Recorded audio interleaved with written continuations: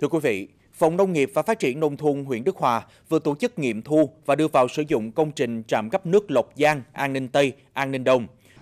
Trạm cấp nước Lộc Giang, An Ninh Tây, An Ninh Đông được xây dựng tại xã Lộc Giang có tổng mức đầu tư là gần 15 tỷ đồng, trong đó nhân dân đóng góp gần 6 tỷ đồng. Dự án gồm các hạng mục chính như giếng khoan thăm dò kết hợp khai thác công suất 30 m khối một giờ, cùng xử lý bằng lamen lọc tự rửa công suất là 1.000 m khối một ngày đêm, bị chứa bằng bê tông cốt thép 300 mét khối, đường ống dẫn kỹ thuật công nghệ, tuyến ống cấp nước dài hơn 12.000 mét